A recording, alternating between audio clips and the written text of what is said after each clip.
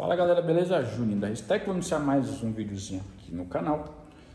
Vou mostrar aqui um carro que vocês é, já conhecem, já viram, já tem vídeo do carro no canal, que é o Golzão aqui do Ricardo, né?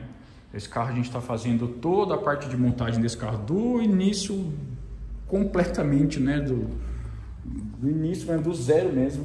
A gente já está um tempo trabalhando nesse carro, está bastante tempo esse carro na oficina, né? É, Porém, cara, é, criar um carro desse do zero, assim, igual está sendo feito, envolve muito trabalho, muito tempo, muita disposição de muita gente, tá? É, não é algo simples, né? Mas, agora sim, espero eu que chegamos no ponto final, né?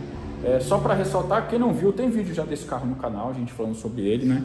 É um 2.0, pistão bela forjada, é, placa de reforço, Cara, um carro bem legal, um cabeçote aí, um Stage 2, vamos dizer assim, uma K27, quatro bicos é, Fueltech de 170 libras, é, sensor de fase, quatro bobinas, meu, um projetinho bem bacana assim, vamos dizer, né, bem completo, escapamento completo de inox, meu, carro bem legal, né, e mesmo assim a gente preservou ar-condicionado, direção hidráulica, ABS, airbag, tudo, né? Então, assim, esse carro veio pra gente é, todo original, ele tinha outra injeção programável, a gente colocou uma Feltec FT 550, tá ali, ó, devidamente acomodada no console central, o Wideband Nano Pro, né, aquele kitzão completo da Feltec, é, sensores de pressão de turbo, é, de pressão de óleo, pressão de combustível, sensor de roda dianteiro,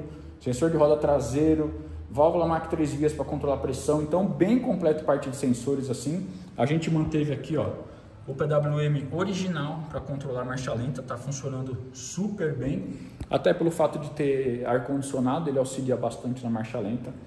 É... Meu câmbio, primeira, quarta forjado, eixo, suspensão, tudo, né? A gente fez de tudo um pouco nesse carro. Eu passei ele no começo da semana no Dino, porém a gente teve que tirar do Dino porque não estava vindo as pressões do jeito que a gente queria. Então a gente teve que desmontar né, a Astigate para fazer a substituição da mola. Ela estava muito mole é, e quando a gente usa, por mais que você, quando você usa um booster eletrônico por CO2, a pressão da mola não vai influenciar muito porque você consegue vencer ela independente da pressão de turbo, né? Aqui não, né? Que a gente depende da pressão de turbo para empurrar a mola para aumentar a pressão. Então, quando você for montar um carro com, com esse tipo de, de, de controle de pressão, eu sempre recomendo uma mola um pouquinho mais dura, aí, que dê um 0,8 a um bar aí de pressão inicial. Vai te ajudar bastante na hora de acrescentar é, a pressão de turbo, certo? Bom, e é isso aí. Vamos ver como que o carro se comporta. Quem não viu, tem mais vídeo do carro no canal, como já falei, né? Mais detalhado aí sobre tudo que o carro tem. É, já está com pré-acerto praticamente pronto, né? Porque eu já tinha passado no Dino aí com pressões é, mais baixas, mas vamos ver. Agora é hora de empurrar um pouco mais de pressão aí, tentar arrancar uns cavalos. Ou já vamos se acabar, se der tudo certo. Mas vai dar certo. Já está no caminho, né? Soltar fogos, rojão, bolo, churrasco, cerveja para comemorar, né? Golzão do, do Ricardo, né? É, eu já falei no outro vídeo de novo, que é um cliente do estado do Goiás, veio, a gente, achou a gente aí por meio de, de rede social, etc e tal. O cara confiou no nosso trabalho para que a gente fizesse esse carro literalmente do zero, tá? Do zero, que eu falei, meu, é, suspensão, eixo, tudo, linha de combustível, escape, tudo. completo. Elétrico, tudo, tudo, tudo, tudo. Vamos dizer assim, é praticamente. Sistema de ar-condicionado, revisando também. Tudo. É, fez ar, claro, é, carga no ar-condicionado, é, documento, tudo, né? Tudo que tinha para ser feito aqui é, foi feito e agora chegamos na hora do grande finale, vamos dizer, né? Que é a hora de achar os cavalos. É, sempre assim, né? Claro, né? Por mais é o carro que. Assim, como é um carro que a gente fez do zero, a gente sabe onde que é os limites que a gente pode ir, né? Pô, eu sei o que, que tem de motor, eu que montei o motor, motor tudo novinho, tudo certinho, então a gente sabe aonde ir, a gente sabe aonde pode chegar, né, com o que a gente tem de mecânica, então a gente pode abusar, vamos dizer assim, um pouco mais, igual eu falo às vezes de carros que a gente pega para acertar só, né? Que a gente não conhece mecanicamente. Nesse carro a gente vai até, vamos dizer assim, a ideia é ir até o limite, né? Ó, que é o limite do carro mesmo, vai render isso aqui, X, Y de potência, é mais ou menos isso que a gente consegue buscar quando a gente constrói o carro inteiro. Então, isso aí, chega de falar, vamos começar a passar a joia aqui de novo, vamos ver o que a gente arranca aqui de cavalos do Golzão Ricardo.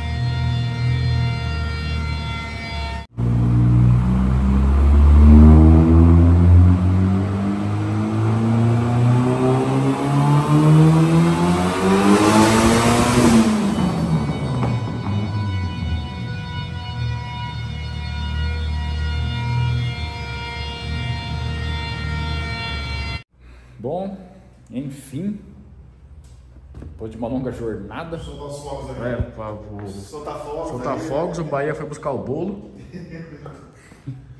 Enfim, conseguimos finalizar o gol do Ricardo. Cara, bem legal, né? Mas independente de tudo assim, né, cara?